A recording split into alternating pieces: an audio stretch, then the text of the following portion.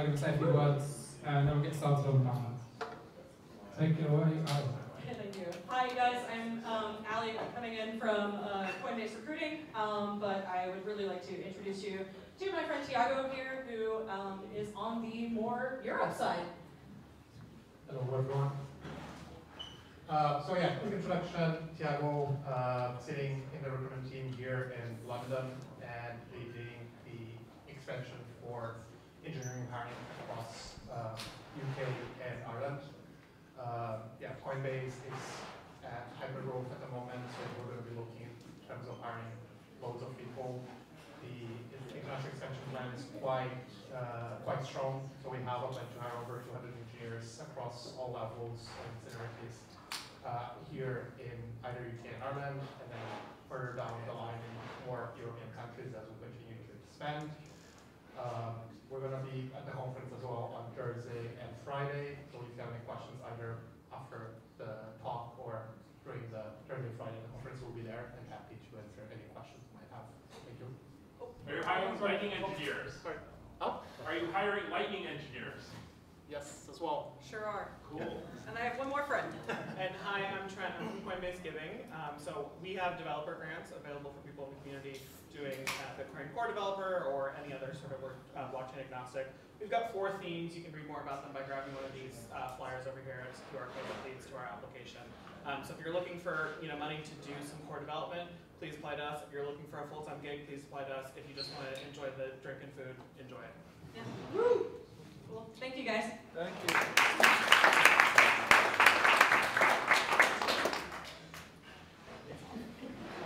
Oh, you want it all? Okay.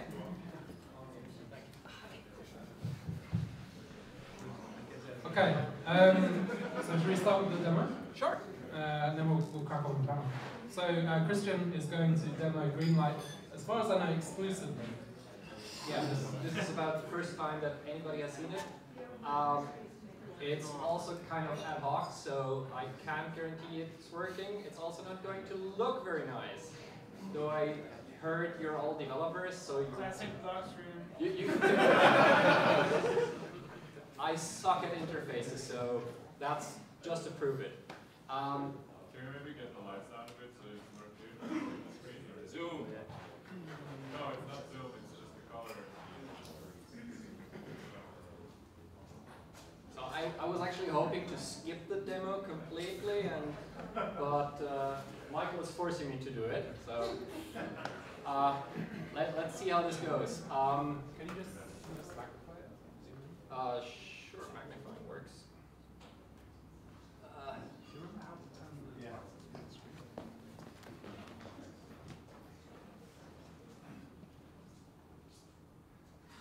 So um, basically, for, for those who've, who've never heard about Greenlight, it's an attempt from us better somehow? Yes, Yes. yes, Yes. yes, the legends. It, it is a service that we uh, that we hope to be offering uh, very soon to uh, to end users uh, who might not yet know uh, what uh, what operating a Lightning node looks like, but who would like to dip their toes into it and sort of get a feel of what Lightning can do for you before investing the time to actually learn and upgrade your uh, your own experience. Um, so this is not intended for routing nodes. This is not intended for you if you basically know how to run a Lightning node. This is for you if you want to see what it can do for you, but uh, but are not prepared to do the uh, the investment just yet. Um, the um, the way that it works is basically that uh, we run the infrastructure on your behalf, but we don't have access to your keys. The keys that are necessary to basically sign off on uh, on anything that uh, that would move funds. So what we call it is a it's a hosted, non-custodial uh, Lightning as a service, uh, li- Lightning as a service service. Did I mention this is ad hoc? um, so I will walk you through quickly uh, of uh, how you can get a node, get it up and running, and interact with it, and do a payment with it. Uh, and it's going to be from a command line, which I know all of you will appreciate. Um, hopefully, eventually, we will actually have a, a UI for this. Um, so as you can see, this is pretty much uh, an empty directory. Uh, so what I can do is, typing with one hand is always hard. Um, what I do is I I want to register a node, uh, let's say for uh, typing is hard, uh, for the mainnet. Uh, yes, please. So uh, we register a node for uh, for mainnet. What this does is actually it goes out, talks to our service, uh, allocates a, a, a, node for you, and it will give you back uh, the um, uh, the access credentials to actually talk to it. So now what we have here is uh, is basically we have the uh, the uh, the seed phrase that was generated locally. We will never share this with anybody. it will never leave this device at all. Um, and we have the credentials here. What we do next is basically we ask it, okay, where, where is it running? Uh, well, the node with this ID is currently not running anywhere. Well, let's change that. Uh, so what I do is now I, uh, I tell the, let me give it a couple of lines. This way. Uh, so, so what I do now is I tell it to spin up this node. I want to, I want to actually use it and talk to it. So I talk to the scheduler and after a two second break, it will tell me, hey, your node is running here. Now what I can do is I can actually talk to it. So when I now call get info, it will talk to this node and say, hey, I am node violent chaser uh, with this ID uh, running this version, and I'm synchronized at this block height. Mic, um, hold the mic closer. Okay. Yeah. Um, I'll, I'll, do that on my own. so um, we, we can we can actually tail the logs and we can interact with it, and we have a whole bunch of uh, uh, of useful command line tools that we can actually do with it. So we can open channels, we can disconnect, we can stop it if we ever want that. Um, we can generate a new address and stuff like that. So that's kind of cute, but um, it's not helping us much, right? Uh, so what I did before as in every cooking show you've ever seen, I prepared something. um, so what we have here is uh, we have this node that I set up a couple of days, uh, days ago. It's called T2, very imaginative. And uh, when we um, when we go and say, hey, I'd like to uh, I'd like to talk to this guy, this is actually going out to the scheduler, starting it, and talking to the node and uh, and getting the uh, get info. So this is Violet Seagull. And if we, uh, uh, if we check what, where it's connected to using list peers, we see, oh, it has a connection, but it's disconnected. So what we can do now is we can basically start, yeah, let's do this log. So what we see here, what we've, uh, what we've just done is we have connected the signer to the node, We've connected the front end to the node, and now this node is fully functional. It has reconnected to its peer, and it could perform payments. So what we, uh, what we can do here is list peers again, and we see that, or we can't see because the screen is too big, it's connected, it's actually talking to a node, and it's up to date. So now I go over to my favorite demo uh, shop by our friends of Eclair. Um, this is actually the best way to demonstrate anything on testnet, by the way. Um, and buying coffee has always been my go-to example. So I create a Lightning invoice, and I copy this invoice, and I pay it. So let me just put this side by side so we can actually see what's happening here. And it works.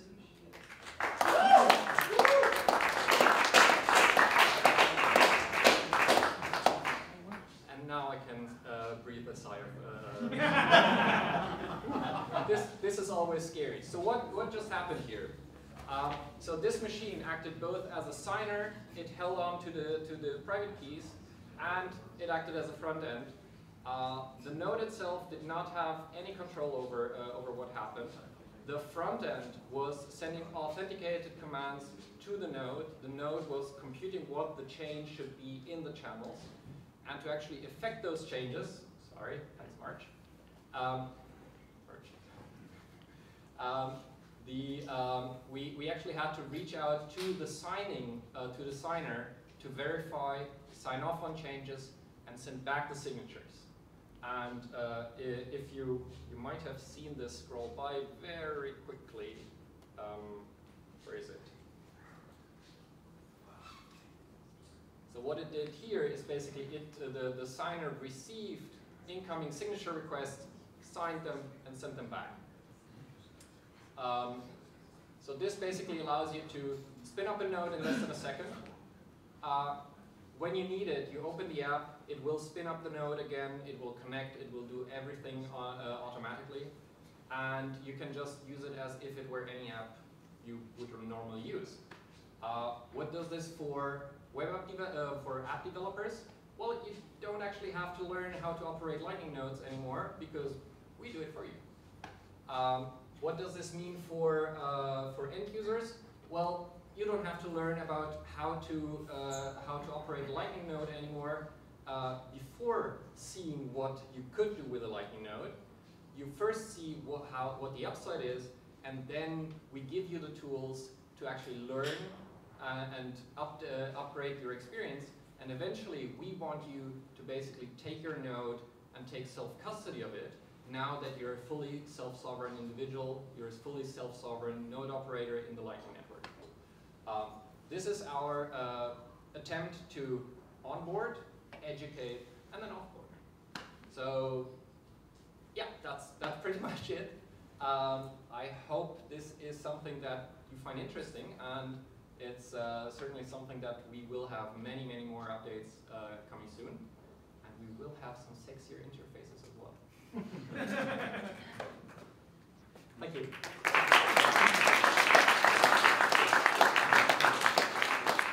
And now I can actually tell you what the scary part about this demo is. My battery is so dead that I didn't know if it would survive these five minutes. Cool. So the way this is going to work today is that like we'll have topics and we'll open it up to questions on each topic. Uh, so the topic now is green light. If anyone has any questions or comments on green light, Yep. sure. Yes, there a reason, is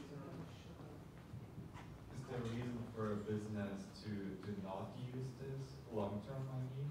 Um, Um, so the way we achieve efficiency with this is that if you're not using the node, we will spin it down because we, well, we can't do any changes, so we will spin it down and you, uh, free those resources and use it for other users.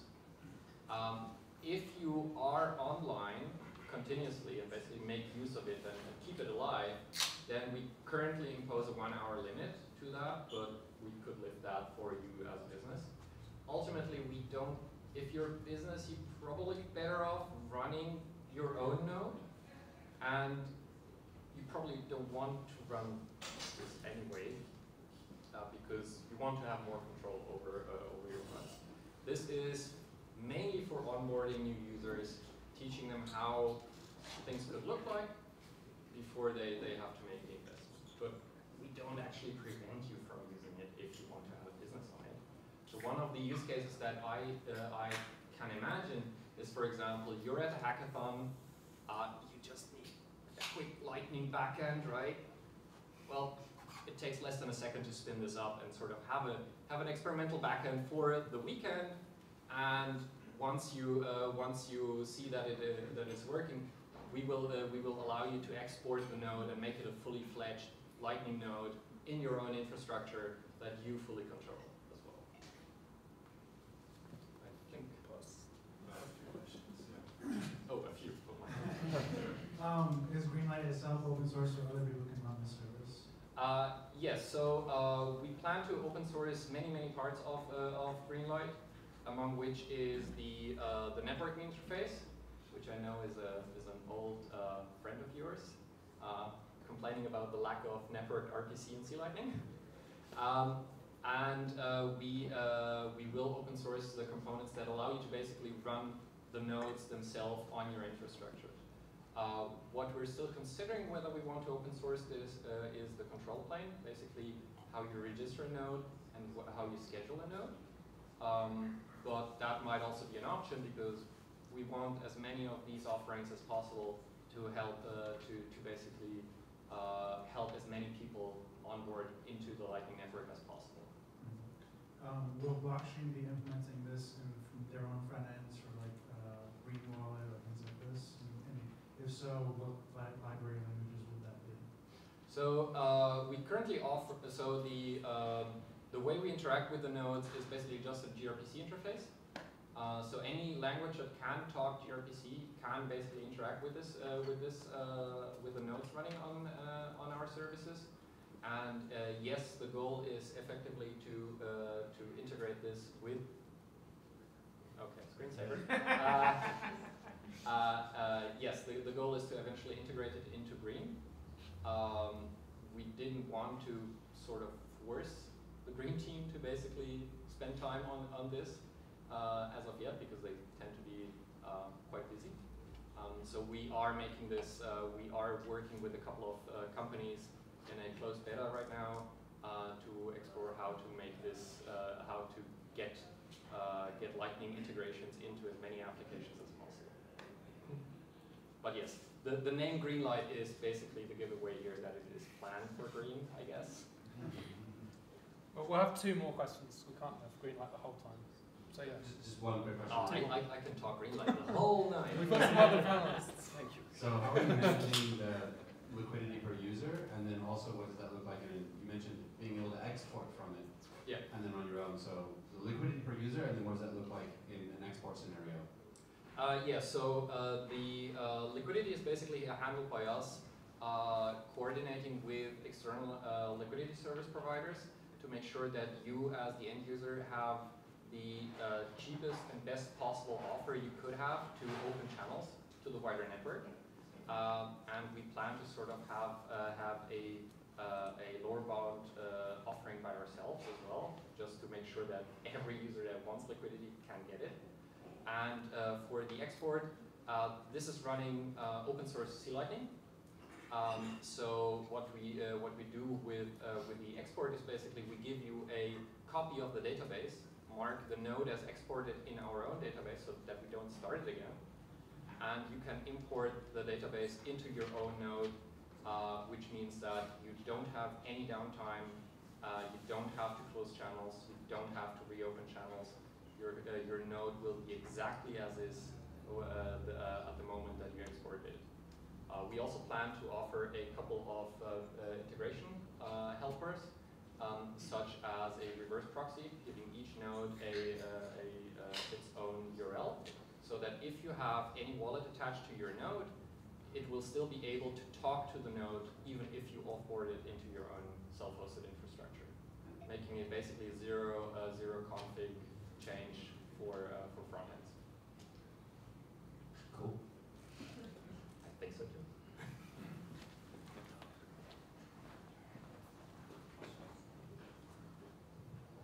Um, a question on demo actually. Um, I saw HSM secret there. So Yeah. Are you actually like connected to a hardware module or is Um, it just like a soft sign That, that, that name has always been a bit aspirational, to be honest. right. Um, but yes, uh, so the, um, we, we will take the learnings from this to inform also the, the way that we, that the open source C Lightning uh, project will be, uh, will be designed going forward. So we will use information that we gather from this to make C Lightning more efficient in the future.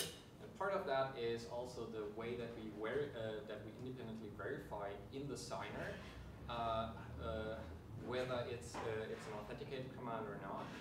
Um, that will eventually inform how we can build hardware security modules, including hardware wallets for Lightning nodes themselves. So this is very much a learning experience for us uh, to eventually get you a ledger or a Trezor that can run uh, that can be used to run a Lightning node as well. Uh, Right. So you could ideally sort of also just expand the HWI uh, library, perhaps. Uh, the HWI might not be sufficient in this case for, for us, so yeah, it, it would require quite a bit more uh, state management on the hardware itself uh, to actually get this uh, get this working in a reliable way and make sure that we can verify the full context of, of whatever we're signing on. Yeah. You have a question, Martin? Uh, it was already answered. Okay. Excellent. Thank you very much. Cool, so we'll start the.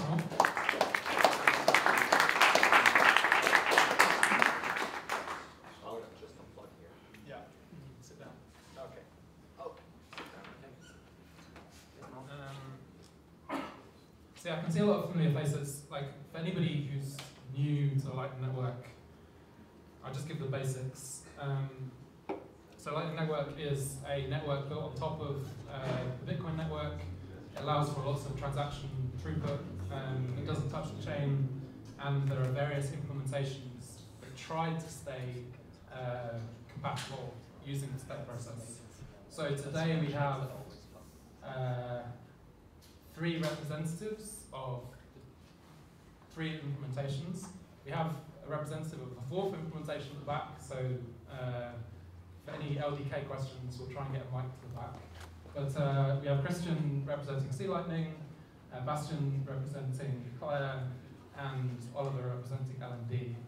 So I thought to start uh, something that might be quite fun to do is a sales pitch, a short sales pitch for your implementation, and also an anti-sales pitch, like what you think your implementation is currently bad. And let's, who wants to go first?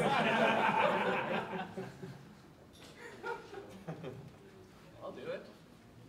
So, um, C Lightning. Um, it's written in C, so very efficient. Uh, it adheres to the uh, Unix philosophy of doing one thing and one thing very well. Uh, we don't force decisions on you, but we have, uh, but C Lightning is very uh, modular and customizable, so you can actually make it very much your own, uh, however you like, however you need it to be. Shall I go with the anti-pitch right away? Yep. C Lightning, it's very bare bones, it's missing a network uh, RPC, and you actually have to do work to get it working. Which, I mean, is probably a corollar- corollary of the sales pitch. Alright, so Eclair, its goal is stability, reliability, and scalability, and security as well. And yeah, it's a bit similar to Lightning here. We, we're not aiming for maximum number of features and we're a bit lacking a developer community, but our goal is to have something stable that does payments right and that scales and you just don't have to care about your node and it just runs and it never crashes and there's never any issues. And the anti-pitch is that it's in Scala, so no one knows Scala and it scares everyone. But it's actually really great. Yeah, so uh, LND tries to be um, developer first, so we want that uh, developers can pick it up easily, can integrate it into their product, build apps on top of it, um, and then distribute it um, as, as a wallet or just a self-hosted node or like bringing bringing it to the plebs. And we focus um, mainly on the, the having a great uh, developer interface. So we do gRPC and REST and try to build in everything um, but also yeah, make it secure and scalable, which comes the current main uh, point. Is if you're on a very large node, then currently database size is an issue. We're working very hard on that to um, yeah, not make that a, a, big issue. We're working on external database support or have I actually introduced that. Yeah, lots to do. Cool. So uh, Christian went through Greenlight um, just there. Um, perhaps Bastien, you can talk about running one of the biggest. Is it one of the biggest or the biggest uh, Lightning node on the network? Biggest. Depends on Um, what you count, but yeah, I'd say probably the biggest. Okay. Um, so I, I, I know that you don't intensely manage that node, but like, can you give any insights into running such a big node? I think there are scaling problems or scaling challenges that you, you, you talked to me about.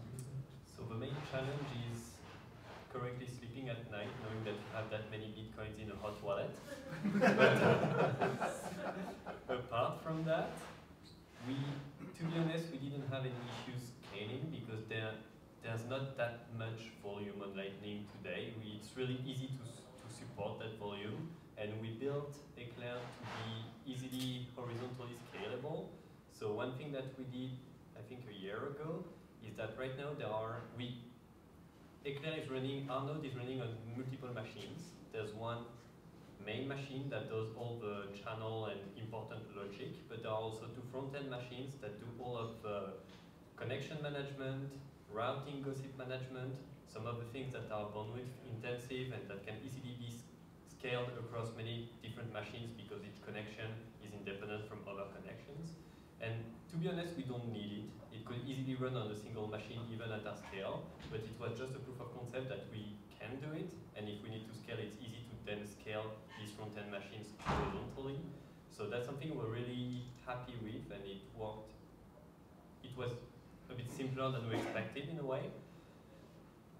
But on the scaling issue, I think the main scaling issues is not related to lightning the implementation, but just scaling onboarding users and uh, getting many people to have channels and to run in non-custodial settings. So that's independent of the implementation and really just something about Lightning as a whole. If we want people to be self-sovereign and be able to use Lightning without any pain points.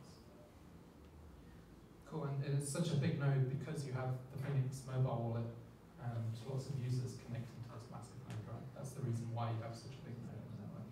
Oh, we, we had we had the biggest node on the network even before we launched Phoenix, so it helped. Yeah.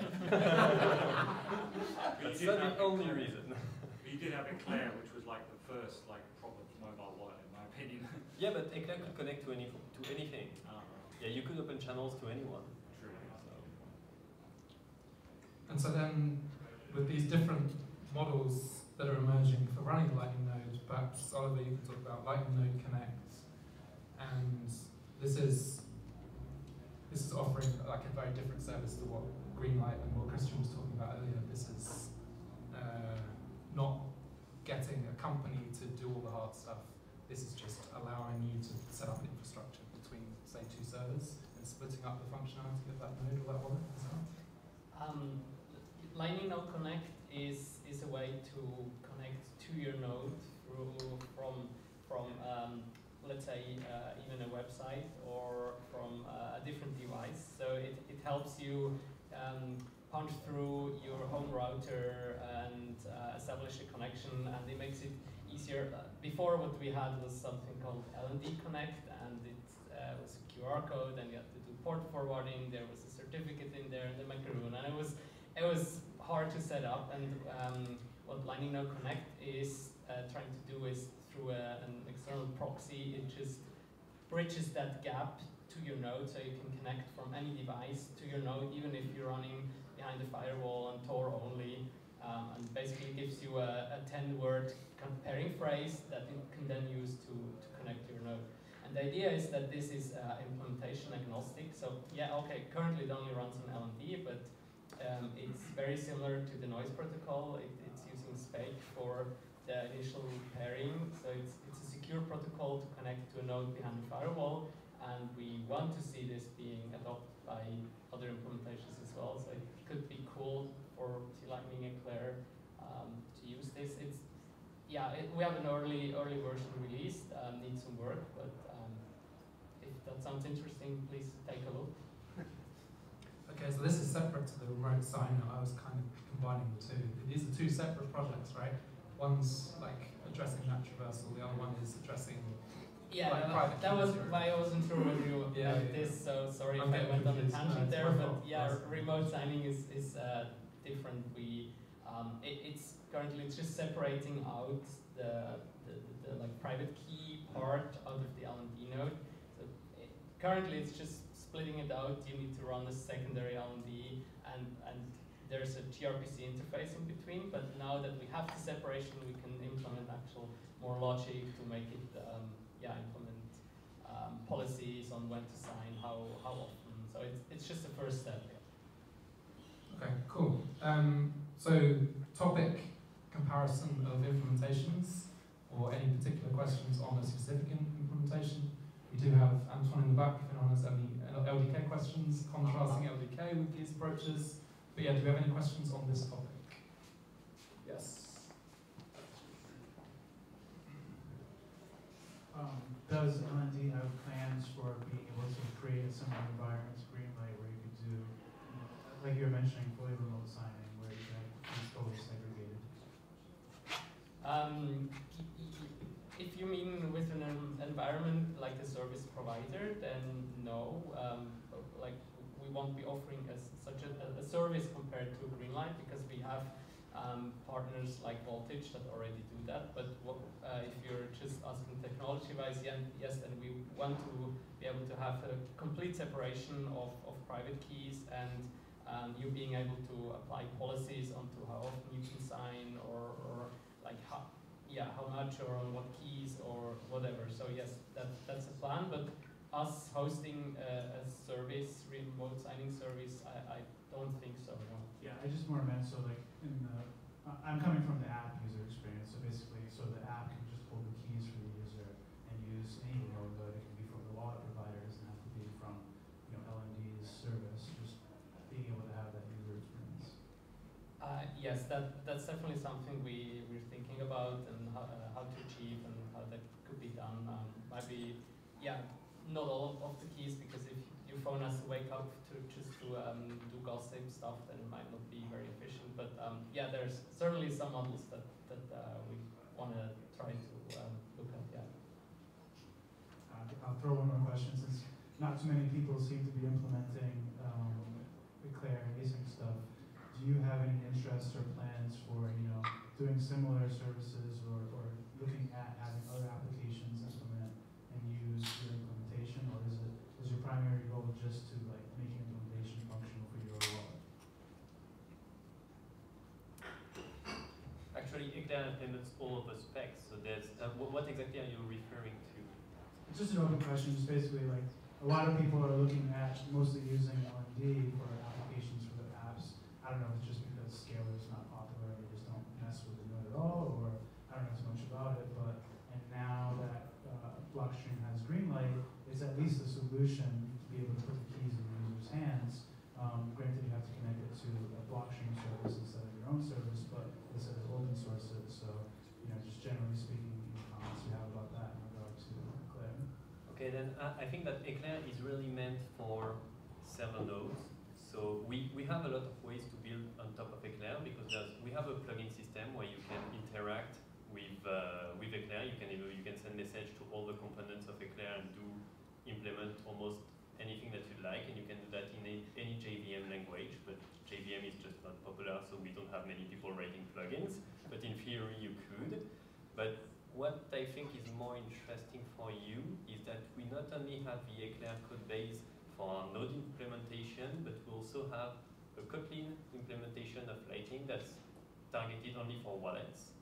And at first, our wallets were based, were completely based on Eclair, on the Scala implementation, and on a specific branch that forked off of Eclair and removed some of the stuff that was really unnecessary on wallets. But that could only run on Android where there's a JVM but not on iOS.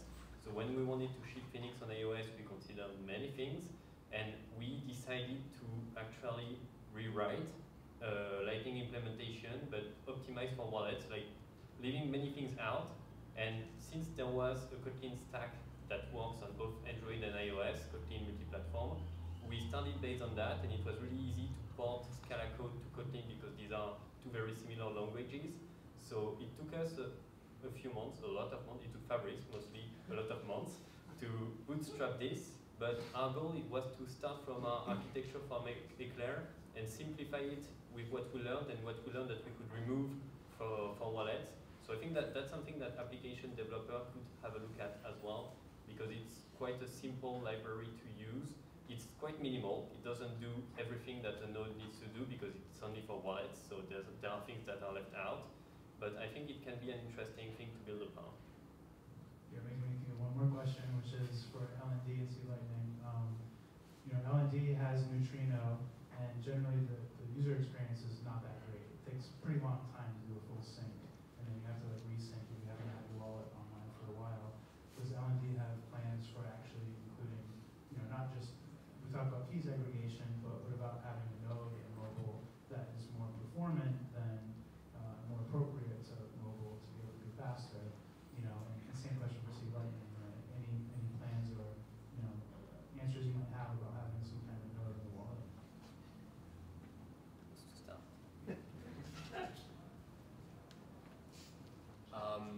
So, so, uh, so yeah, I, I, I personally never understood why neu- Neutrino should be a good fit for, for Lightning nodes because uh, Neutrino does away with the downloading of blocks that you're not interested in, but since most blocks nowadays contain channel opens, you're almost always interested in all blocks, so you're not actually saving anything uh, unless you're not verifying that the channels are being opened that, that you accept. Um, so that caveat aside. Um, uh, C-Lightning has a very powerful uh, plugin infrastructure. Uh, we do have a very modular architecture that allows you to swap out individual parts, uh, including the Bitcoin backend, um, which uh, which you can, which by default does talk to Bitcoin D, a full uh, full node, um, and, and and will fully verify the entire blockchain. Um, but you can very easily swap it out for something that, that talks neutrino, uh, something that talks to Block Explorer if you if you're so inclined to trust the Block Explorer. Or um, uh, like in the case of, uh, of Greenlight, we do have a, uh, a central bitcoind that uh, serves strict blocks to, to our clients, uh, to, to our C-Lightning nodes, and is thus much more, much quicker to actually catch up with the blockchain because, well, all of the interesting stuff of of block we just strip out? Um, so this is this is the sort of customizability that I was talking about before. Uh, if you put in the time to make C Lightning your uh, uh, work for your environment, you're going to be very happy with it. Um, but we do ship with, with, with, defaults that, that are that are sort of sane in, in, that sense. Um, and I mean, there's there's many ways of, of running a bitcoind backend uh, that could be more efficient uh, than, than just processing entire blocks. Like I said, with Greenlight we are using strip blocks, um, or talk to a central server that uh, serves you this, this kind of information. So it very much depends on your security needs uh, about how much you trust whatever the source of, uh, of this ground truth data is. Um, and by default, we do use the least amount of, uh, of assumptions, but if your environment allows it, we can speed it up. And that includes mobile clients or server nodes or you name it, basically. Um, as far as I know, there is no, there are no plans to support another kind of backend, chain backend that we currently have. But there are still a few um, performance optimizations that can, can be done on Neutrino. So um, yeah, just needs uh, a bit more more love. We could do some preloading of block headers, um, uh, optimization with the database because it's the same database technology that we use in LND, which yeah, it's kind of has uh, come to an age. So um, I, I feel like Neutrino is still a, a viable model. Um, just need to invest maybe a bit more time what is being worked on is um, to have an alternative uh, to ZMQ with bitcoind, so you don't need an actual ZMQ connection. Um, we, we, uh, someone's actually, uh, an external contributor is um, doing work on making it polling uh, only, so you could use your remote um, at-home Bitcoin D node um, as, as an alternative if that would ever be an interesting option. So, but apart from that, I'm not aware of any other plans. Thanks, guys. So, I mean, it seems to me like there's specific use cases that are gravitating towards the separate implementations, like perhaps like merchants getting set up for the first time would use Greenlight and C Lightning, like mobile users uh, would use Eclair, um, and like developers using the API. Some there's some exciting gaming use cases of Lightning that are using LND. Like how do you think these use, use cases are sticking to your particular implementation, or do you just your implementation can potentially do everything? Of course. oh. um, yeah, so so we, we definitely have sort of a persona that we're uh, that we're aiming for. Uh, we do uh, we do have a certain type of users that we try to optimize for, and that we sort of are looking into supporting uh, as much as we ca as we can. Of course, this persona is probably not the same for uh, for all of us. Um, but there is a bit of overlap. So uh, I like the, the fact that users get to choose what, uh, what implementation they, they want to run. Um, and depending on what their actual use case uh, is, one might be slightly better than the other. But I think that all three implementation, all four implementations, sorry, Antoine, um, uh, uh, no, he, he- he wasn't listening.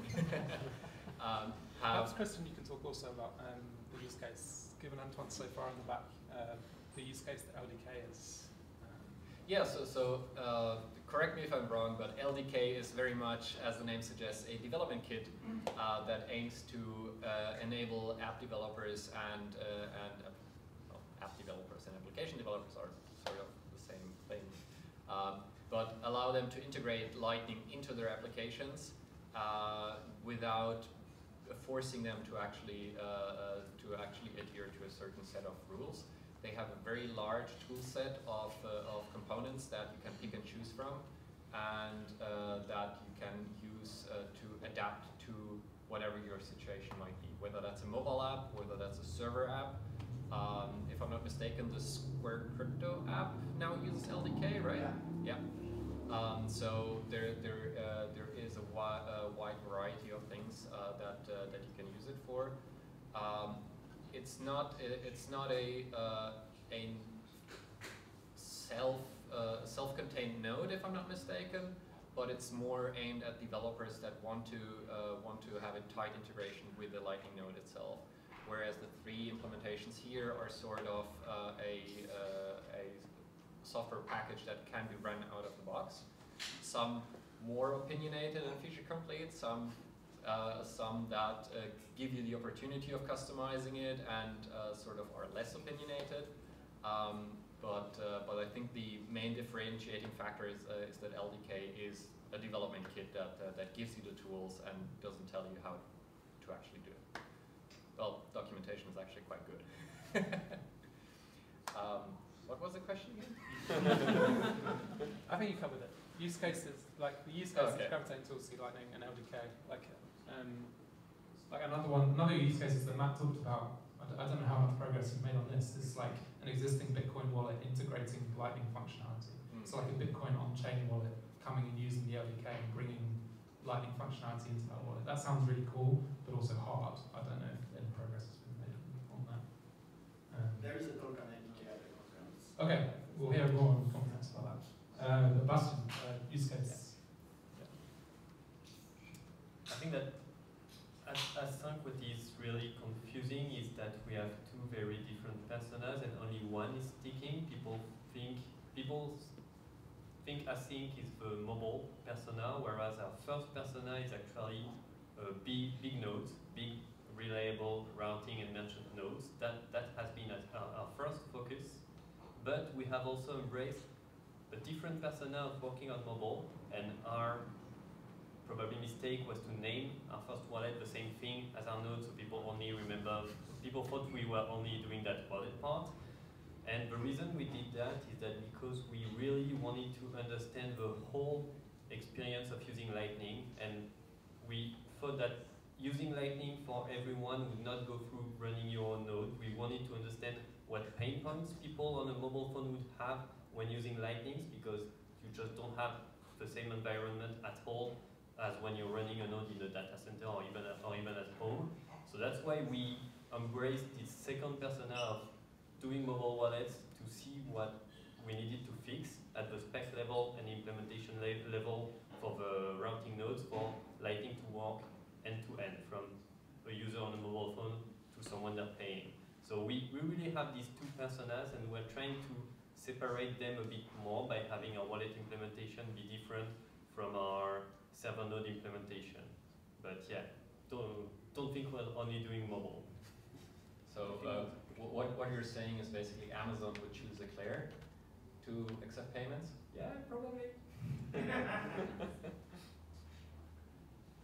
Um, I, I'm not sure what persona I would uh, ascribe to LND other than um, maybe the developers themselves so that we have an uh, batteries included experience for the developer that so that they can choose what their per persona they want to serve. I mean, um, that I mean, yeah, it's we have a lot of features features and um, it's everything in a, in a single binary. So we're also trying to unbundle some things so developers can have a more uh, configurable um, experience. Um, yeah, I, I, think we we have something for for everyone almost, though, um, and we we also have some quite big nodes running LND, but um, yeah, uh, I wouldn't say that the, the like largest nodes such as, as yours is, is our main goal, but uh, we definitely want to get there uh, as well. So um, currently we're just a bit limited, uh, uh limited by the, this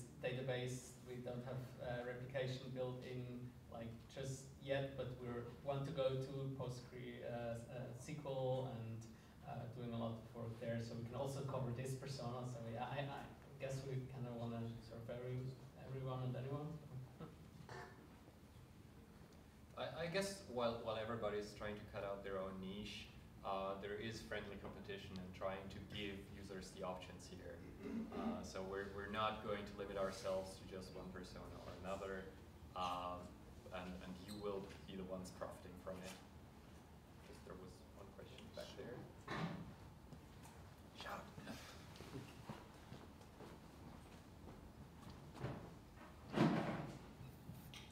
Hey, thanks. Uh, so I've been in the Lightning space for a while, and I'm very invested in like you know users using mobile wallets. And uh, this is really a question for uh, Eclair because I, in my in my opinion, I think the Eclair uh, wallet on Android is one of the best mobile wallets, um, if not the best, right? Especially for the UX and you know reliability. So my question is, you know, it's 2022. I recently moved over to an iPhone, and there is no or or very few uh, non-custodial uh, Lightning clients available. And my, my real question is, what is what is the biggest like thing kind of in the way right now for uh, greater mobile wallet adoption and creation? So what are y'all's opinions on that? Apple. I think you mean a mobile wallet for someone who understands the technical detail and wants to manage the technical detail, right? Someone who wants to see the channels. Because what, what, what the approach we've taken with Phoenix is different from the approach we've taken with Eclair Mobile. Our approach with Eclair Mobile was to make a wallet that anyone could use, but we failed because it shows, because Lightning is complicated when you have to manage your channels and you don't even understand why we cannot tell you exactly how much you are able to send because, yeah, channels, it's, complica it's complicated. So we started again from scratch with Phoenix because our goal was anyone, anyone who doesn't who doesn't care that it's not on-chain Bitcoin, who just wants something that sends payments like Lydia and just works. So if you want that, we already have it with Phoenix and Breeze and other wallets are doing the same kind of things. If you want something that's more expert, that shows you, that gives you control over channel management, I don't know if you should, may, maybe what you should look for is more of a remote control over your node at home.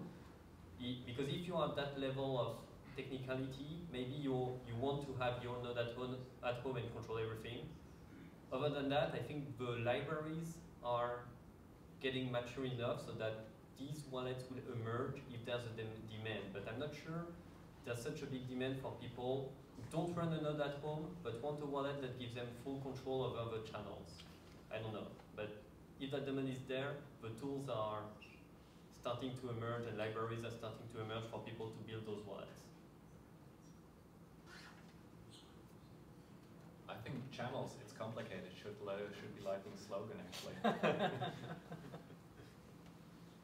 okay, so before we move on to the network as a whole and spec stuff, um, anything to add on like priorities for your implementation in the coming year?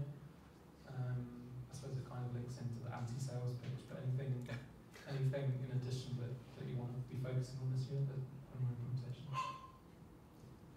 Yeah, we, we certainly have identified a couple of, uh, of gaps that we, that we have had uh, in, the, in the past, uh, including, for example, uh, giving, uh, giving users more tools to basically make C-Lightning the, work for themselves be more opinionated, give them give them something to start with, um, and basically the first step uh, to uh, to this end is going to be uh, we are building a gRPC interface with mutual TLS authentication uh, to allow people to talk to their nodes.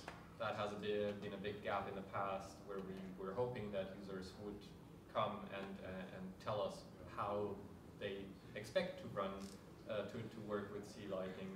Um, and gRPC is definitely the, the, the winner there. Um, we are also working on a couple of uh, long requested features um, that I might not want to reveal just now. Um, but uh, you're not going to be limited to one one channel per peer much longer. Um, and uh, we are going to going to work uh, work much uh, much more with the specification effort to uh, to bring some of the features that we have implemented, standardize them, and make them more widely available. That includes our dual funding approach. That includes our splicing proposals. That includes uh, the liquidity ads that we uh, that we had, and hopefully we will be able to standardize them and make them much more widely accessible um, by basically removing the block uh, blockers that have uh, have been there so far for uh, for the specification. Um, I think that's mostly it. Yeah, and hopefully Greenlight will work out, and uh, you will see uh, you will see that how we can take the learnings we took from Greenlight and apply them back into the open source C Lightning project and makes uh, C Lightning so much more accessible and so much easier to work with. So on the Eclair side, our, I'd say that our first focus is going to be continuing to work on security, reliability, and making payments work better, like improving payments. And that's just the only thing that Lightning needs to do and needs to do well, is that your payments must work, be fast, and be reliable. So there are still a lot of things to do. We, there are big spec changes that have helped Lightning get better, but they need a lot of implementation love. They, they, they create a lot of details that make it hard and that can be improved. Also, there are a lot of spec proposals that will really help Lightning get better as a whole. The three that Christian mentioned, we are actively trying to implement them and we want to ship them this year. And there are also other proposals that some of them that we push forward and that we hope to see other implementations add, like trampoline and route binding. Route binding is already in C Lightning because it's a dependency for offers and onion messages, and I think it's really good for privacy.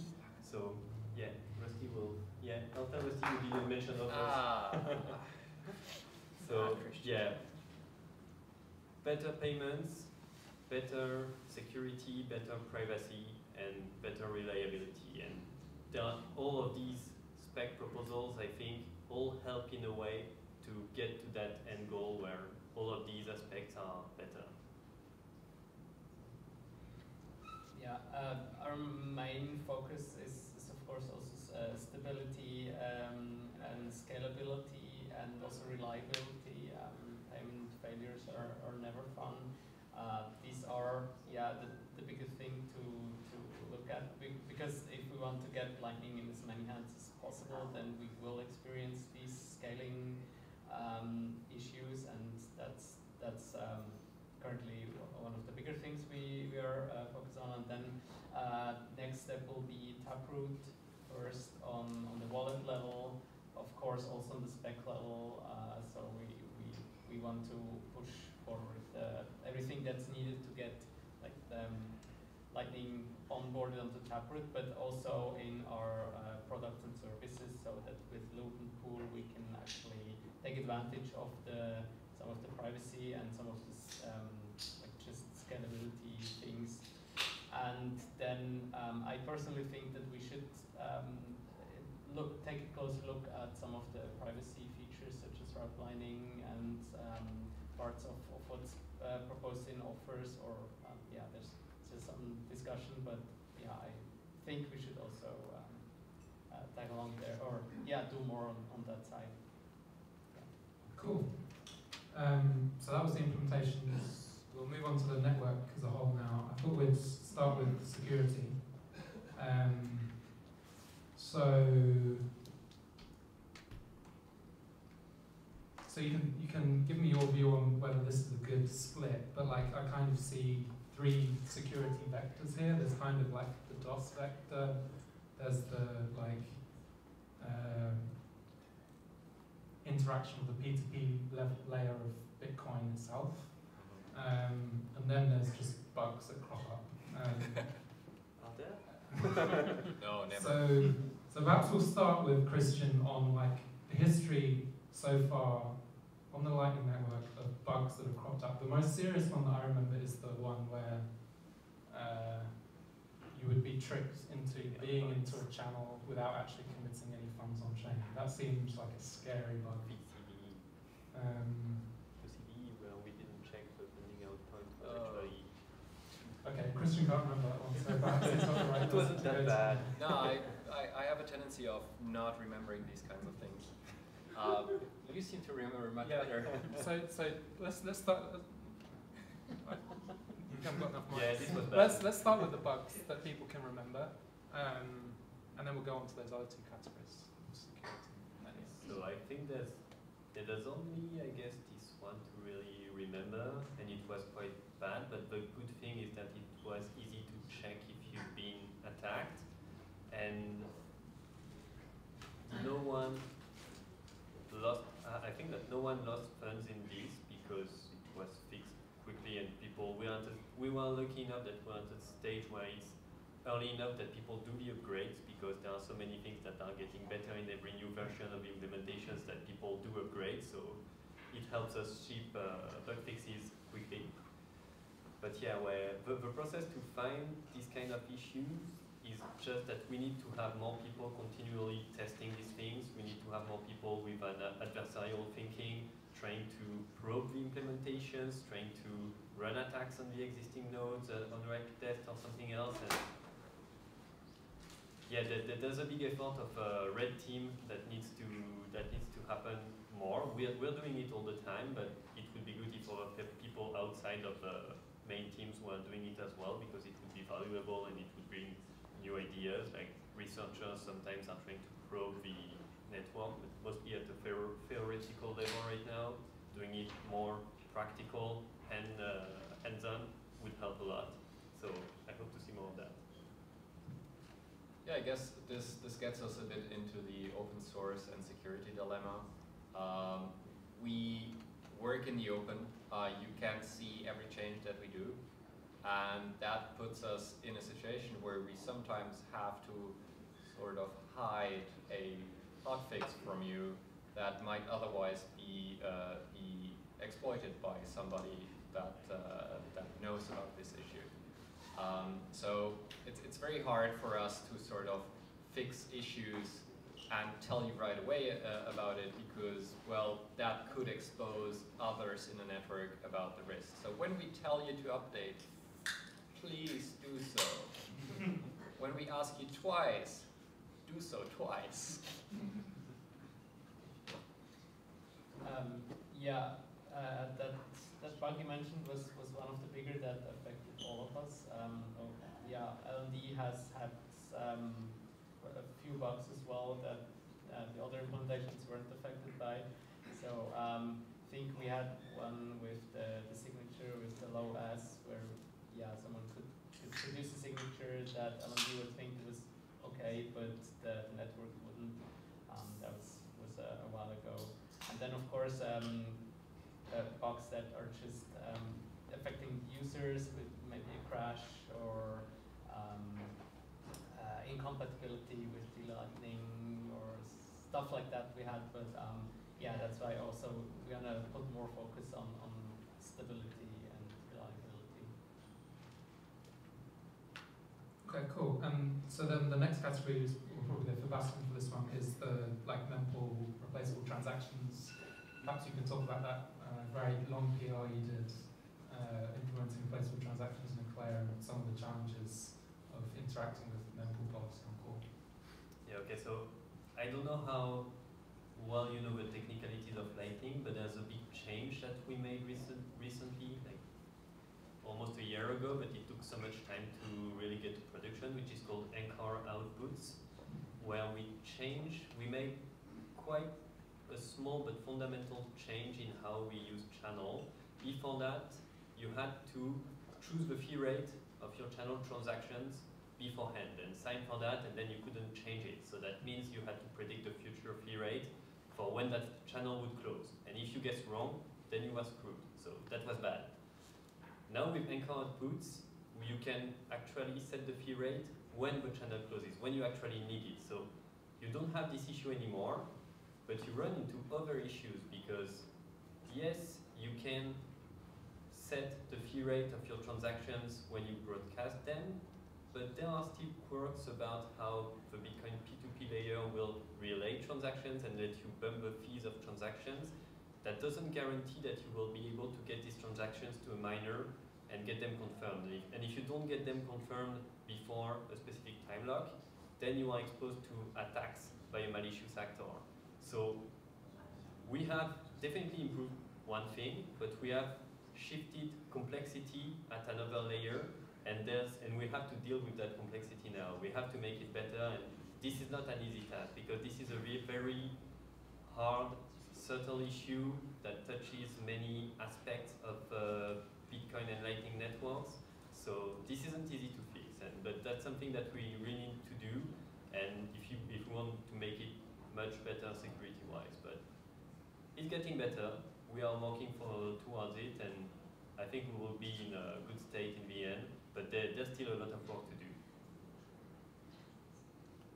I guess I guess the concern is like so with with the bugs, like the first category, like you can solve those problems, right? Like you identify them, you squash those bugs. Like this one seems like a long term one where we can kind of incrementally make progress and make it more secure, but like there's no hallelujah moment where it's like, oh, this bug is fixed. In fact, it goes with uh, basic. Lightning starts from a statement that may or may not be true, that you are able to get transactions confirmed in a specific uh, time uh, time period. If you if you cannot guarantee that, you cannot guarantee fund safety, and that is actually not always that easy to guarantee. In very high fee environments, where the mempool is, is very congested, it may cost you a lot to be able to guarantee that security. And we want to find the right trade-off where it doesn't cost you too much, but you're still completely secure. And it, it's a hard trade-off to find. Yeah, I guess uh, it, it's, it's as much a learning experience for us as it's a learning experience for Bitcoin Core, uh, Bitcoin, uh, the peer-to-peer layer. And that's, that's what actually makes this exciting, right? This is, this is very much a research in progress kind of thing. Uh, and uh, that's, that's always what, what excited me and what got me uh, to, to wake up in the morning and it's just cool. Agreed. Uh, so we're, we're all geeks after all. so I final question on this, we'll open up to the audience if they have any security questions. Um, so I looked up the stats from Clark Moody. There's 3,500 Bitcoin on Lightning Network that we know publicly. It's about 130 million US dollars. Um, does that scare you? Is that about right? Like, if it was a billion, would you be scared? 10 billion? Any any thoughts on that amount on Lightning Network now? I mean, uh, I would be lying if, if I were saying that this is not a scary amount of money. Uh, it definitely is a huge, huge sort of uh, commitment that people, a lot of trust that people put into our code, and we do our best to to uh, to rise up to that uh, to that trust. Um, that being said, we we are also learning at the same time as as many of you are uh, while operating the Lightning node, and the more you can tell us about your experiences while operating Lightning, uh, the better we can uh, we can help you make it more secure, uh, easier to use, and uh, more private to use as well. Um, so we depend very much on your feedback, just as much as you depend on our code, basically. Okay. Um, any questions from the audience on security? Yeah. I'll take the front.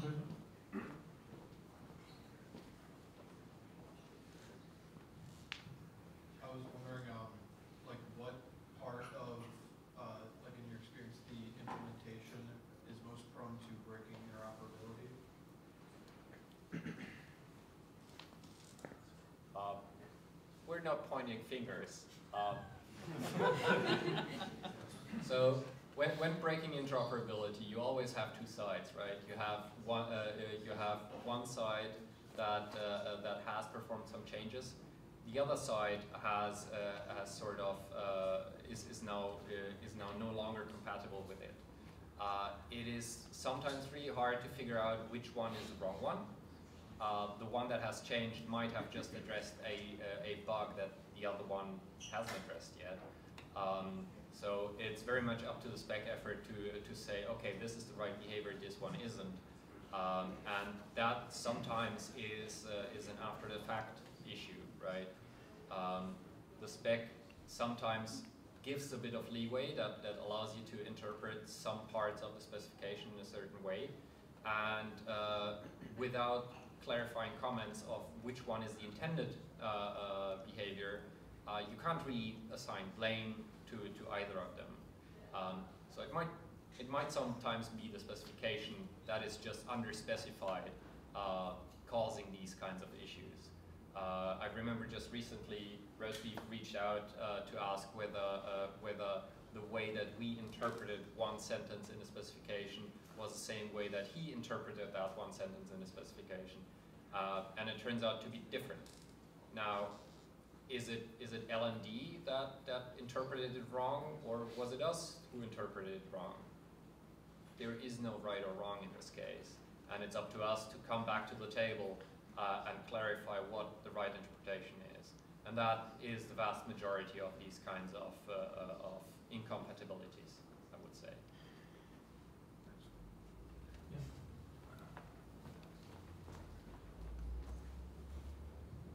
How much longer can we have bolts without version numbers associated with them? So if, if we want to say we're bolt whatever compliant, it's kind of amorphous, right? We're, we're changing it and modifying it. Uh, it seems really prudent for us to start versioning bolts to say, okay, you know, uh, Eclair, LND, C Lightning, you know, whatever releases bolt, you know, 2.5 compatible or whatever. Um, what benefits do you see to that? Uh, what potential downsides? It would be really convenient, but it's really hard to achieve because this would really require central planning of this feature will make it into the 2.0 release, and all of, all of the features that we are adding to the spec are things that require months of work for each implementation.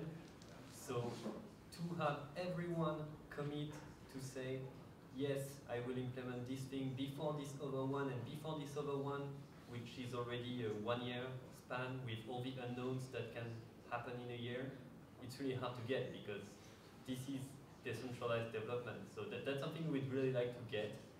But there are so many different things that we want to work on and people assign each implementation and assigns different priorities to it. And I think that part is healthy, that it's really hard to say this is going to be version 1.0, 1.1, 1.2. So I, I used to think that we really needed to do that. I don't think that anymore. Yep. Yeah, so, so, so we actually tagged uh, version 1.0 at some point. Uh, it was sort of the, uh, the, low, uh, the lowest common denominator uh, among all of, of the implementations. And sort of this, this was to signal that, that we have all achieved a certain, a certain amount of maturity.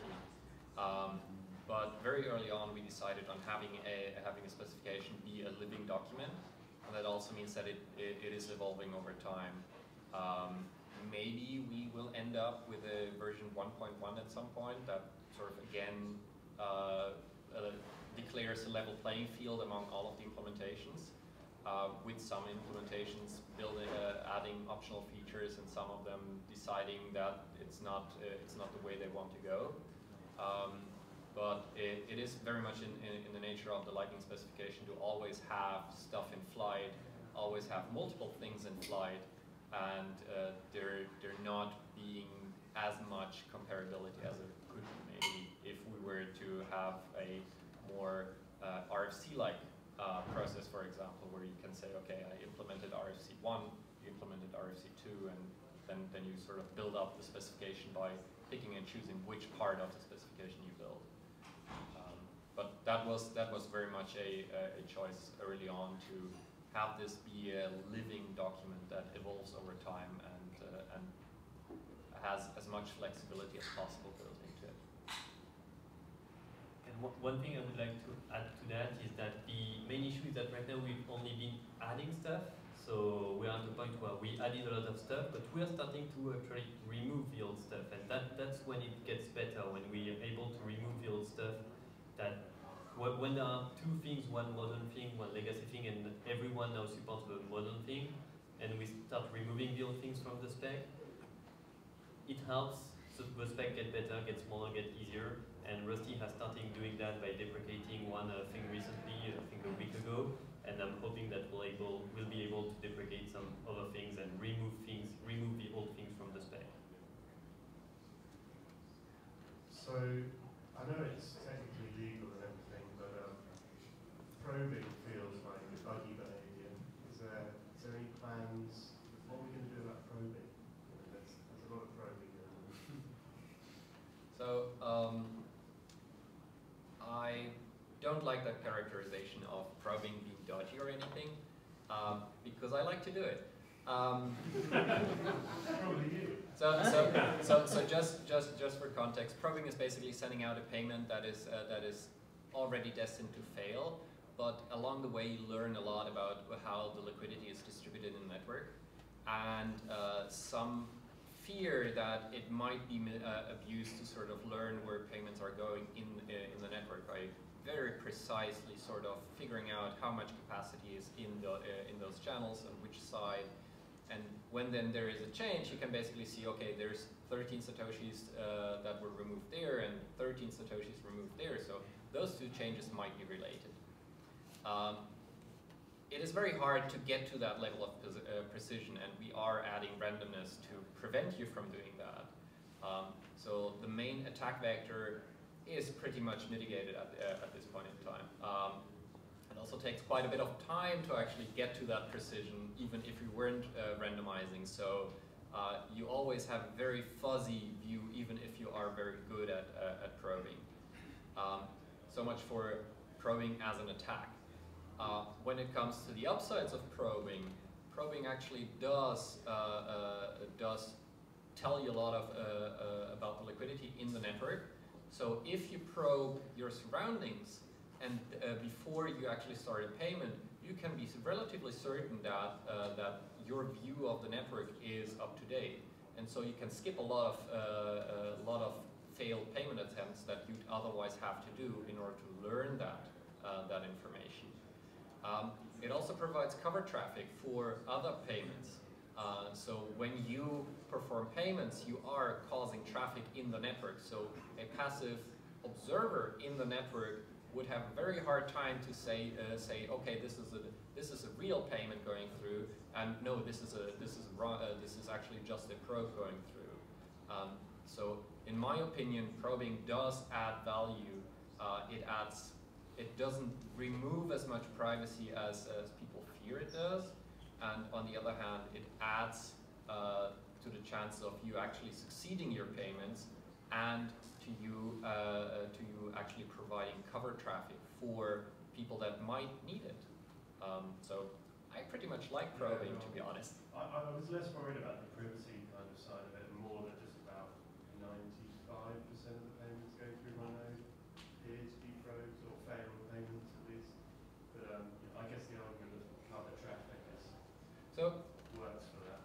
So, the, the one downside I can see uh, with, with a huge amount of, uh, uh, of probes going through a node is that it may end up bloating your database. Um, so every time we, uh, we add or remove an HTLC to a channel, we have to flush that to disk, otherwise we, we might incur uh, uh, in, in, in losses there. Um, so there is work you have to do even for probes. Um, but uh, but we the, there are ways we could replace those probes with more lightweight probes um, that do not have this uh, uh, this uh, property. So you could uh, you could have these lightweight probes that are very lightweight, don't add to your to your database, but still give you some information about how the liquidity is, uh, is stored, uh, how the liquidity situation is in parts of the network, uh, and provide that kind of cover traffic. Um, so it's not exactly free because yes, you are storing a couple of bytes for each uh, for each failed probe, um, and over time that might accumulate. But I think in, uh, in in many cases the upsides outweigh the downsides. Cool. Okay. Oh, is that's it? Yeah. No. Okay. Okay. Yeah, a- apparently, I'm the only one probing, so yes. so, sorry for those extra bytes. I'll, buy you a USB stick. Okay, so we've left the slight controversy until the end. Um, so the spec process and the bolts. Um, Alex Bosworth uh, put the cat amongst the pigeons with a few, com- few comments in an email that was shared on Twitter. I'll read out a couple of the quotes. Uh, obviously, he's not a fan of Bolt 12, but there were, there were some specific comments on the bolt process itself. Well, I'm not a fan of Alex, but that's fair. Okay. Obviously, uh, to clarify, um, Alex is speaking for himself, not speaking for Lightning Labs. Uh, I think most of other people clarified that, so it's just his personal opinion. But um, a couple of quotes. The way this bolts are standardized is arbitrary. Um, and if your side produces Lightning software that only 1 or 2% of the network uses, you still get to set the standard for the remaining 98 or 99%. I guess, like with any spec process or any standardization process, there's always going to be these tensions. Um, like I'm not, I haven't followed any others, so this is like quite new to me. Going to be quiet on that, please. Um, so, like obviously with different priorities and like different business models different wishes for the direction in which the spec goes, I think like it's almost inevitable there's going to be these tensions. Um, but yeah. So firstly, thoughts on Alex's comments. Thoughts on how the spec process has evolved. Um, like, is there is there anything we can improve, or is is this just an inevitable side effect of having a standardization process with lots of different players with lots of different competing interests? Uh, so yeah, I, I, I think that, that those are very strong statements from, from somebody who has never participated in a single spec meeting. Um, I think, as you rightly pointed out, there is uh, there is a, a, bit of contention in the spec, uh, spec process, but that's by design. Uh, if uh, if one implementation were able to sort of dictate what uh, what the entire network looks like, we would end up with a very myopic view of what the network could be, and we wouldn't be able to serve all of the different use cases that we are serving. Um, and so, yes, sometimes the spec process is frustrating. I totally agree with that. And we certainly have different views of, uh, of what the network should look like. Um, but by, uh, by uh, I think by this thesis, antithesis, and synthesis uh, process, we come up with a system that is much more, uh, much more able to serve our users than if, one implementation were to go it alone. Um, and I think I'll let you address the 1% uh, comment. No, I wanted to address the frustration about the spec. Yes, it is frustrating. For example, personally, I opened my first big spec PR in 2019. It was Trampoline, and I was hoping that this would get accepted in six months because, yeah, this takes a long time, so six months should be great. So in 2021, I opened, I just closed it to open the 2021 edition of Trampoline, saying, oh, this time in three months, everyone says they will implement it, so in three months we'll have it, and it's still there. But it's okay. And if in the end we get something better, and between the 2019 edition and the 2021 edition, I've already improved some stuff. Some stuff ha has changed based, based on feedback based on things that we learned running this in one of our wallets. So if, in, if, it, if this is what it takes for the end result to be good, I'm okay with it. We're not in a rush here. The, we are in, in this for the long goal. So I think that's the mindset you should have when you approach the spec process. You, you should not aim for results. You should not aim for merges. You should aim for a learning path, a learning path and getting in the end to something that many people contributed to and that in the end is really good for your users and good for the networks. if you're ready to wait, I think this is a good process, but yeah, it is frustrating and it is hard sometimes, but I think it's a good thing. Yeah, um, I personally don't work on the spec, so I don't feel qualified to, to, to give an answer. I just wanted to add that I don't necessarily agree with um, all the points that Alex mentioned, and I definitely would have said it in a different way as well. Um, yeah, it, it's, um, I just hope that the, the, the, lack of resources to work on the spec um, sometimes is interpreted as us blocking stuff, which is not the intention or not not um, yeah not not our goal uh, of course. So um, it, it's just yeah we, we want to put in more work in the spec. So uh, I hope we'll improve there. But um, yeah, it's uh, it's an interesting uh, thing to observe how how does how that frustration sometimes comes to the surface. And, yeah. Yeah, so thank you for all the work you do on the spec. I need to pick up as well, so uh, I'll do my best. Yeah, there's also two, two things that I want to mention is that of course, yeah, the spec takes a long time. This is this takes time that you could spend doing support for your users, that you could spend doing code for your users, that you could spend doing bug fixes, and it's really hard to arbitrate. We all we all have small teams and big a big user base, so it's really hard to find the time to do those things and to choose how to allocate your time. So it's hard to blame someone because they just don't have the time. But I think it's still an important thing to do, so you should try to find some time to allocate to it. And the other thing I wanted to say, I don't remember. So it probably wasn't that important. Trampoline. yeah, trampoline. oh yes, I remember. I really hope people don't think the spec is an ivory tower kind of thing where, oh, these guys are doing the spec and it's all complicated and, oh, I cannot participate. Not at all. You, you should come, you should, you should learn, you should listen, you should ask questions and you should just propose things. There's, it's okay, and it's okay to, it's okay to fail in public. That, that, that's a good thing actually. It's okay to embarrass yourself because you proposed something in public and it was completely wrong I'm doing it recently with all these RBF things on Bitcoin Core. I'm thinking that, oh, but why can't we do that? Wouldn't that work? And then, oh, no, it's completely dumb because yeah, there are a lot of things I don't know. And that's how you learn, and it's okay. You just need to not have too much of an ego, but don't, no one will judge you for trying something and learning that there were things that you didn't know. It's, this is a really complex project, so don't be afraid to just come in and say things, and maybe you'll be wrong, but that's how you learn. There's no ivory tower and we are welcoming all contributions. Could I ask a question? Yeah, go for it.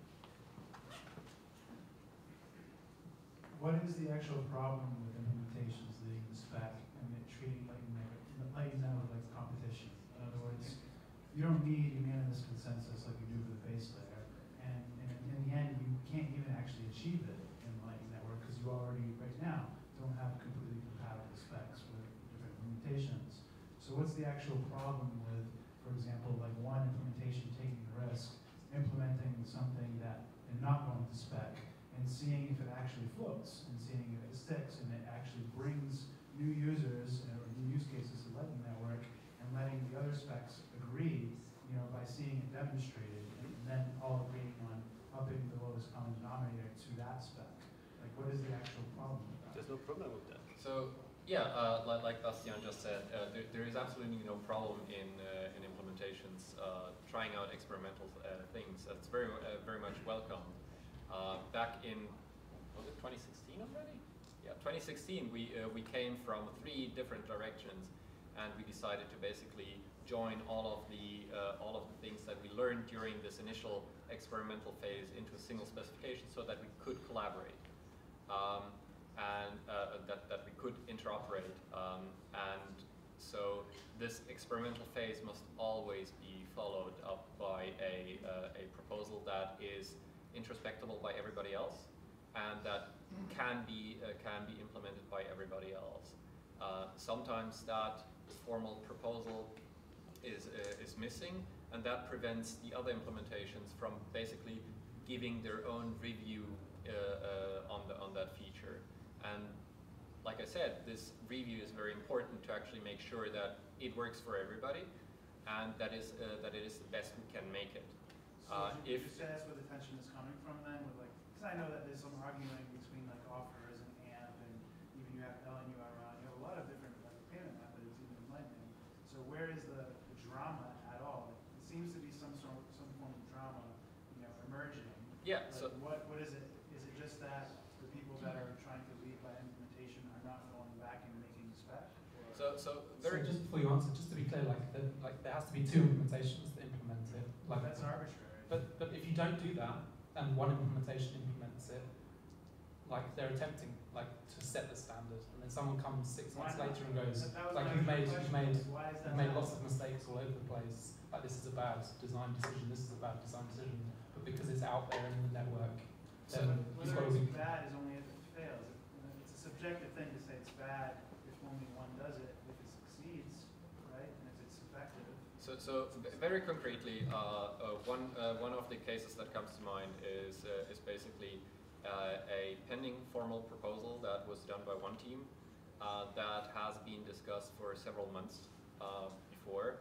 And suddenly out of the blue comes a, a counter proposal that does not have a formal write-up, that is only implemented in one code base, and uh, that is being used to, uh, to hold up process on the, uh, on the formal proposal without, uh, without additional uh, uh, explanation why this should be preferred over the formal proposal or why there isn't a formal proposal.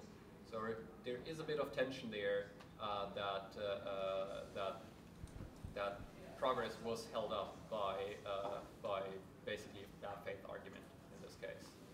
Uh, where I think incompatibility is inevitable though in some features, right? Like, I believe PTLC channels are compatible with HTLC. One, one, one thing is on incompatibility, the other one is holding up the spec. Holding up everybody else to catch up to the full feature set that you are building into your own implementation. That's what, uh, what some people are, uh, uh, are arguing against. And of course, every implementation, if they wanted to, could have their own network of that implementation, right? So like they're free to do that, but the whole point of the spec process is to try and get all the implementations when they implement something be compatible on that feature. Um, but they're free to set up a new network and be completely independent of like the bolt compliant network. I don't make an implementation, so you don't have to worry about me. but I just feel like it's a bit idealistic and that the competition could result in even, even more iteration and even more, you know, faster evolution of the network than the spec process will. That's, that's definitely a fair argument. Uh, that's, that's not uh, what I'm arguing against. Uh, but like, like the name Net Lightning Network uh, suggests, uh, it very much profits from the network effects that we get by actually being compatible, by being able to interoperate, and by, uh, by enabling all implementations to play on a level, uh, level playing field. Um, if, uh, if That last part sounds like fairness, which is not really a competitive aspect. In other words, like, if one if one implementation led the whole spec, and n- not, you know, just incidentally, it doesn't necessarily be by tyranny, they just, they, in other words, they said, we know the way, we, we know this design will succeed, and they were right, and it brought like a million users to Lightning. The other specs would have to go in line, but we would have a million users instead of, you know, X thousand. And so. Uh, so, so that's why we still have Internet Explorer then? I don't know, I, I don't think it's the same thing, because you don't need total compatibility, you need, you just need a minimum amount, right?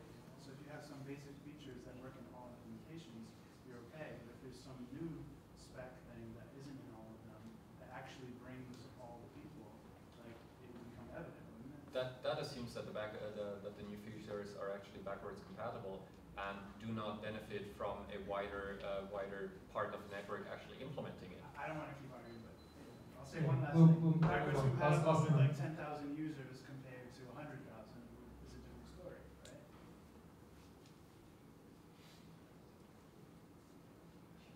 does that justify? If, if, if it's useful, people will use it, right? Well, they, they can, yes, but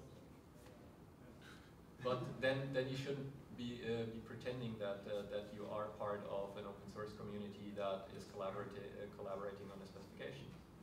Well, open source. We'll move on, move on. We haven't got long left. We need to move on. So just a couple of things. So obviously uh, there's conflicting opinions on Bolt 12. Um, well, I think a lot of people support Bolt 12. There's, there's a couple of, of oppositions, but it's, it's quite a new proposal. So let's let's talk about a couple of proposals that have been like stuck for at least like a year or two. Like you mentioned, uh, you mentioned your proposal. There's also like dual funding um, and liquidity ads that Lisa Lisa's frustrated about like lacking progress on. Um, perhaps we can talk about like what's holding up these. Is it like business models? Is it like uh, proprietary services not wanting decentralized versions of that proprietary service? Is it not wanting too much to go over the Lightning Network so that it becomes like spam? Like, I don't know, what, what are the considerations here that are that's holding up process in some of these proposals? I think the main consideration is developers' time because mostly we've done all the simple things that was Lightning 1.0, so now only remains the most the harder things that take more time to build, that take more time to review, and that involve trade-offs that aren't perfect solutions. So that takes time to review, that takes time for people to agree that this is the right trade-off that they want to implement in their implementation. That takes time for people to actually implement it, test compatibility. And we have, I think we have a lot of proposals right now that are floating in the spec and that most of us agree that this is a good thing, this is something we want to build, but we, we just don't have the time to do everything at once. So everyone has to prioritize what they do, but I don't think any of those are really stuck. They are making progress. They are making slow progress, but all of these are, in my opinion, progressing. Yeah, so so all, all three or four uh, proposals that you mentioned are uh, well, trampoline isn't that big, but uh, but dual funding is uh, is is quite big. Uh, splicing is quite big. Uh, liquidity ads is quite big. Offers is quite big. And so it, it, it's only natural that natural that uh, it takes time to, to basically review them, sort of hammer out all of the fine detail uh, details, and that that requires setting aside resources to do so. And we're all small teams, so uh, so it basically comes down to the priorities of the individual team, how much how much you want to dedicate to the specification effort. Um, C Lightning has always made uh, made an effort to uh, to have all of its developers on on the specification uh, process as well, as have other teams as, uh, as well. But it's it's a small community, and and we sometimes get frustrated if our own pet project doesn't make make it through the process as quickly as we would like it to be. Uh, so yeah, any audience questions on the spec process? No? Okay, so we'll end then with like, when you dream about what the Lightning Network looks like in five years, uh, like, what, what does that look like? I know, Christian, you've previously talked about channel factories, but like everything seems, as the months go on, everything seems so further away, right? Like, the more the more work you do or the more progress you make, the further you are away from it. Almost seems like certainly with like Taproot. Uh, perhaps Oliver can talk about some of the stuff that he hopes to get with like Taproot or Lightning. But uh, yeah, like what what do you hope to get? Uh, which direction do you want to go in for the, for the next few years? So uh, maybe I can say that five years ago I would not have expected to be here. Uh, we've this this network has grown much much quicker than I thought it would. Uh, it's uh, it's been much more successful than I thought it would. Um, it has surpassed my my sort of wildest expectations, uh, which probably should give you an idea of how badly I am at estimating the future. Um, so you shouldn't ask me about predictions. Um, I think what what the Lightning Network will look like in five years doesn't really depend on what we think is the right way to go. Uh, there are applications out there we Lightning spec developers cannot imagine. We're simply way too deep in the process to take those long shots. Um, and I, I'm always amazed about, uh, about what applications the users are building on top of Lightning, and, uh, and it's, uh, it's, really, it's really you guys who are going to build the big moonshots, and we're just building the basis that you can, you can start off of. So uh, I, I think that's, that's really the message here you should, uh, you are the guys that, that are actually doing the, the innovation here. So thank you for that. Don't have anything to add. That's perfect. Yeah, I mean, I'm just gonna be bold and say I'd like to see a billion users actually, or a billion people actually using Lightning in one way or another. Hopefully as non-custodial as possible, but just number of users go up. Okay, so uh, final audience questions. Uh, uh, Rene had one on Twitter. How should we proceed with the zero-based fee situation? Should LNDevs do nothing? Should we have a default zero recommendation in the spec? Should we deprecate the base fee? Um, any thoughts on zero-based fee? So um, since since Rene and I have, have been talking a lot about uh, about why zero-based fee is uh, is sensible uh, or why it wouldn't be, um, I'll just I'll just add a quick summary. Uh, so zero, zero base fee is a proposal by Rene Pickhardt uh, to remove the fixed uh, fee and make make the uh, the fee that every node charges to for for forwarding payments just proportional to the amount that is being forwarded. It's not removing the fees; it's just removing that sort of initial offset. Um, and why is that important? Well, it turns out that the, uh, the, the sort of computation that we do to compute an optimal route inside of the, uh, of the Lightning Network might uh, be much, much, much harder if we don't remove it um, according to his model. So um, if we were to remove the base fee, then, uh, then that would allow us to compute optimal route, uh, routes inside of Lightning Network with a maximum chance of succeeding in the shortest amount possible, which I mean, that's, that's, that's a huge upside. Um, the, uh, the counter argument is that, uh, that yes, it, it is basically, uh, it is a change in the protocol and maybe we can get, we can get away with, uh, with an approximation that might not be as optimal as, uh, uh, as the, the optimum solution would be, but which is still pretty good. Um, as to whether we as the spec process should be dictating those rules, I don't think it's up to us to dictate anything here.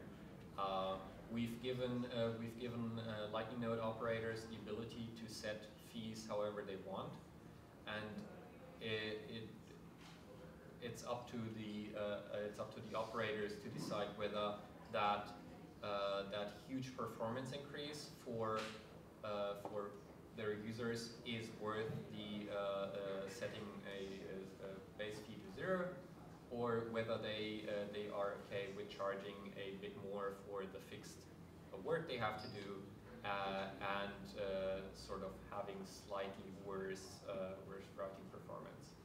Um, but as spec developers, it's always difficult to, to set up defaults because defaults are sticky and it would basically be us deciding on behalf of Lightning Node operators uh, what the path forward should be, whereas it should be much more us listening to you guys, what, uh, uh, what you guys want from us, and uh, taking decisions according to that. Um, yeah, I, uh, I um, met with uh, Rene um, recently, and we, we discussed this, his proposal again, and we kind of have a plan how we could um, integrate some kind of proof concept into LND that can work around some of the uh, issues with the, the base fee, just to get the sense of how how um, how does this compute, how fast is it compared to um, normal pathfinding, and and how how much better could it be? So we can actually run some numbers, do some tests, get some get some real uh, real world comparison, real world numbers, which is what I thought was was a bit lacking before to have actual actual results being shown. So um, yeah, my, my goal is to, to give it a shot to implement something very naive and very uh, stupid based on his paper and see where it goes. But um,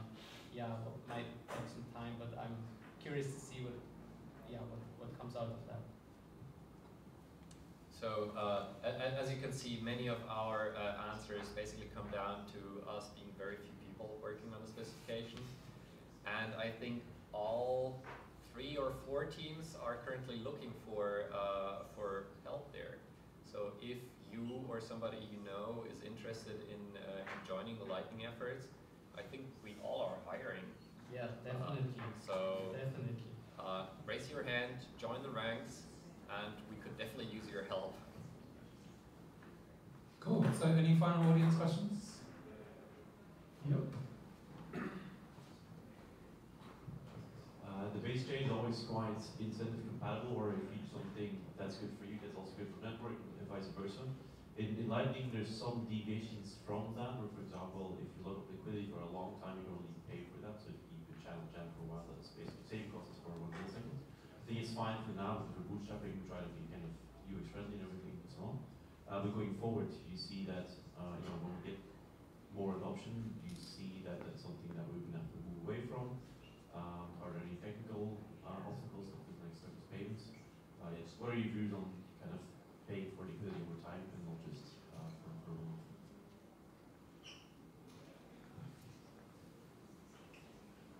You say that this is not an issue because we don't have a lot of volume, but I think it, it is an issue, even if we don't have a lot of volume, but it's just that we don't have a perfect solution to that. And I don't think there is a perfect solution to that. And we, we have done a lot of research. There, there has been a lot of proposals. Trying different kind of things to fix it. But all of these proposals either don't completely work or work but require quite a lot of implementation changes and a network-wide upgrade, which takes time. So we are actively trying to fix this, but this is still very much in research phase, I guess. And if more people want to look at it from a research angle, that would be very much appreciated, because I think it's an interesting problem to solve, and there's still some design space that hasn't been um, evaluated. But we haven't focused on implementing anything because we are not yet convinced by the solutions we found. But this is very much something that we are trying to fix in the short midterm. So I think saying that uh, that the base chain is uh, always where incentive compatible is probably also a bit of a stretch. Uh, we still disagree on whether RBF rules are incentive compatible or not, and we, we are still fighting over that. That being said, I do agree that the venues where these disagreements and the incentive incompatibilities on the base chain uh, uh, are present are much, much fewer. That's one, because the base chain is much simpler. Um, there is much less uh, stuff that can go wrong on Bitcoin mainnet than can go wrong in, in Lightning. So the surface where stuff can go wrong in Lightning is also much bigger. Um, and Bitcoin itself has had quite a lot more time to mature. Um, and, uh, and I've been with Bitcoin since 2009, and trust me, I've seen some shit go down. Um, and uh, so I think uh, we shouldn't we shouldn't set up the same sort of requirements when it comes to uh, to to being perfectly incentive compatible or perfectly secure, perfectly private either. Um, and uh, and we should we should be able to take the time to address these issues uh, in in a reasonable uh, way and to make those learnings and address address them as they as they surface. Um, that being said, there are many proposals flying around. Uh, we are evaluating quite a few of them, including uh, paying per time of, uh, of funds locked up. You, uh, you mentioned stuckless payments, which might uh, might become a possibility with PTLCs, which might become a possibility with Taproot. Um, so there, there, there are ways we can improve certainly now, and, uh, and I guess only the future will tell if uh, if we address them completely or whether we have to go over the books again and find a better solution. Um, Any other questions? Yeah.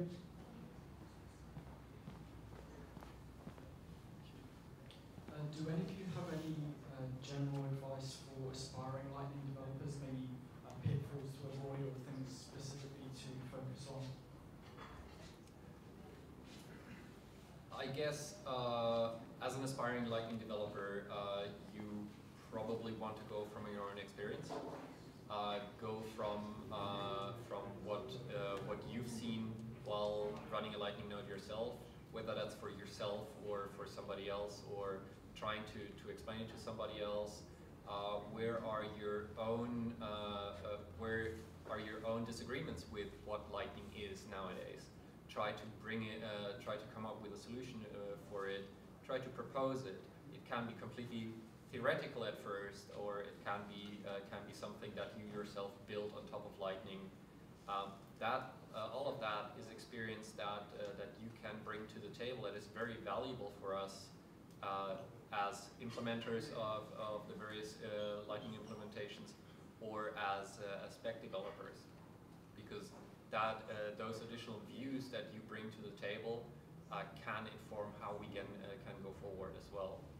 Um, so my my personal tip is uh, just just try out uh, an implementation. Try to build something on top of it. Try to make some experience with, with it, and then uh, and then come to us and and basically say, oh, this this this is not how I expected it to work. Why is it? how can we do it better?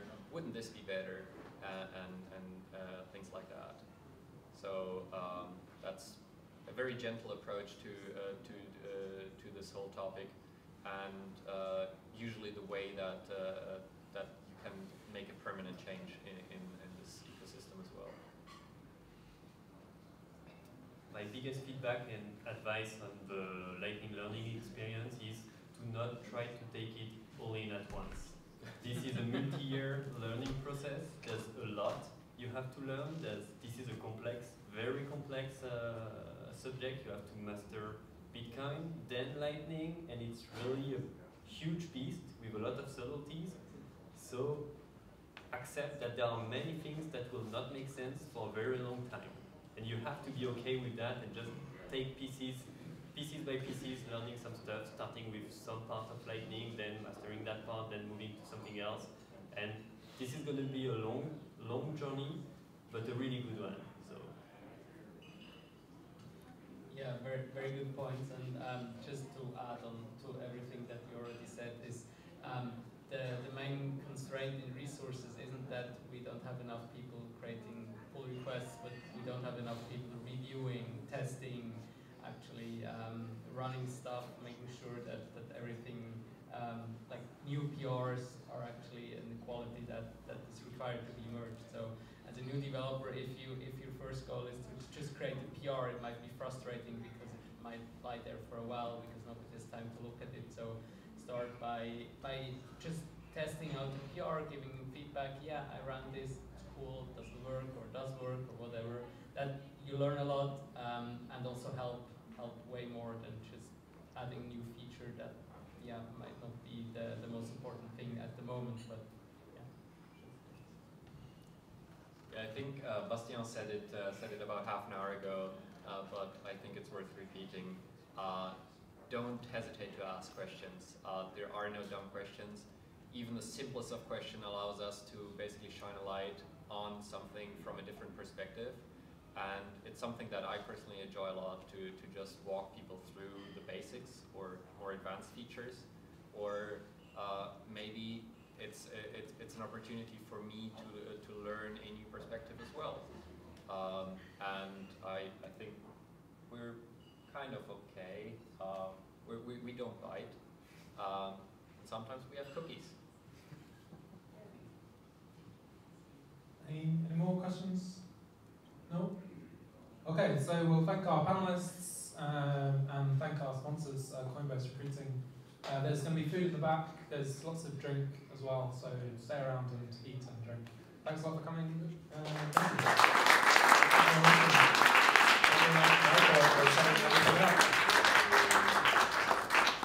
thank you.